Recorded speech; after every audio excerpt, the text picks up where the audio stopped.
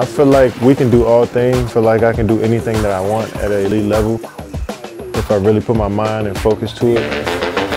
I've accomplished a lot as a basketball player and it's made me think that I, if I put that same amount of focus and love and care into something else, I can do the same things.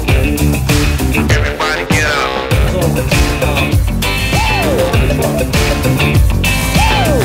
Stay confident, stay positive, stay bold.